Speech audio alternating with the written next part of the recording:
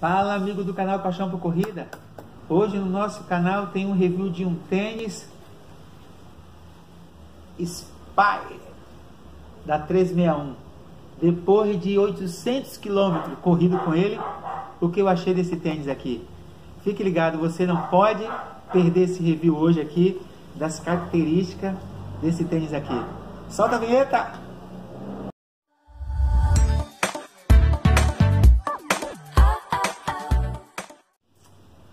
Fala amigo do canal Paixão por Corrida, como eu falei, toda sexta-feira nós vamos estar fazendo um review aqui de um tênis que quando eu tiver um tênis né, para correr, é, falando do, das características, do que eu senti, eu não vou falar se ele é drop, se ele é isso, aquilo, eu vou falar do que eu senti quando ele, quando eu coloquei ele no pé e saí para correr. E hoje eu vou falar de um tênis que me indicaram, eu vi no Fôlego, e esse, quando eu vi no fôlego, eu vi ali é, algumas características deles que me, me despertaram a curiosidade. Eu fui e comprei esse tênis aqui, ó, o Spire da 361. Esse tênis aqui, irmão, é um tênis com pisada neutra. É um tênis que ele não é muito flexível, mas é um tênis que quando você coloca ele no pé, você amarra e você ele é estranho que eu, nos primeiros dias eu, eu, eu senti muita dificuldade.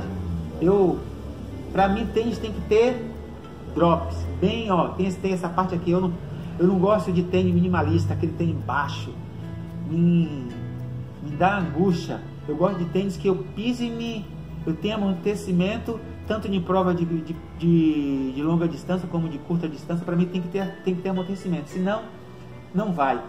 Esse tênis aqui eu comprei e coloquei ele no pé e saí para correr. Primeiro dia que eu fui fazer, eu fiz 12 km com ele.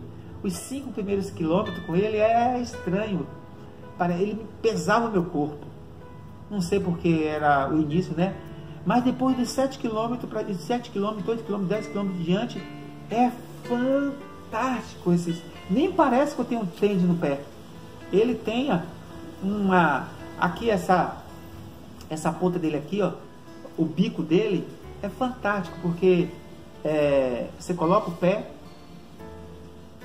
os dedos ficam soltinho, soltinho, soltinho, não tem problema de ficar apertando.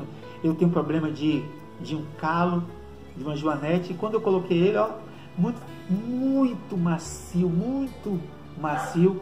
O problema é que quando você amarra ele, com o tempo que você vai correndo com ele, ele vai dando uma folgadinha, mas com o sétimo furo fica fantástico, você pode amarrar e não tem mais esse problema. Aí eu comecei a correr com ele e comecei a gostar, comecei a correr 10, comecei a correr 15, corri uma meia maratona, fantástico. E o mais interessante, esse tênis aqui estava numa promoção, esse tênis aqui hoje é a, a 361, ela sugere vender de 475 e eu comprei ele em uma promoção na Netshoes por 257 reais. Olha, eu já corri mil, quase mil quilômetros com ele. Olha, o solado não gastou quase nada, ó. Eu tenho um problema terrível que é quando eu corro aqui, ó.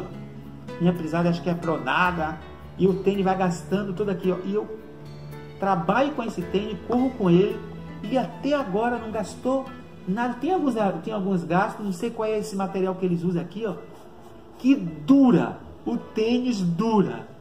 O tênis é fantástico. Ele não tem, ó, é, ele tem uma placa aqui atrás que ajuda a prender o pé quando você está correndo. Eu tenho certeza que você não vai se arrepender. Ó. Um tênis desse aqui, ó, que já está comigo, já vai fazer seis meses eu correndo com ele. É o tênis que eu só treino. Pratico treino com ele, faço meus longões com ele, já fiz longões de 32 km com ele. Olha, fantástico, você não sente fadiga.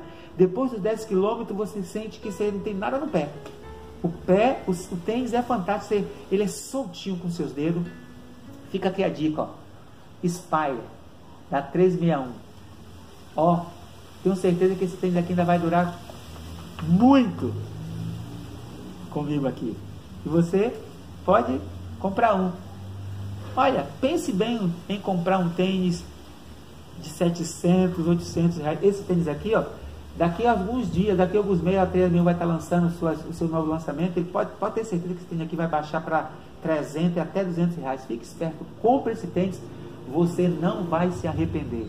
Fica aqui a dica do canal Paixão Corrida e até a próxima. Até o próximo. Eu testei e gostei.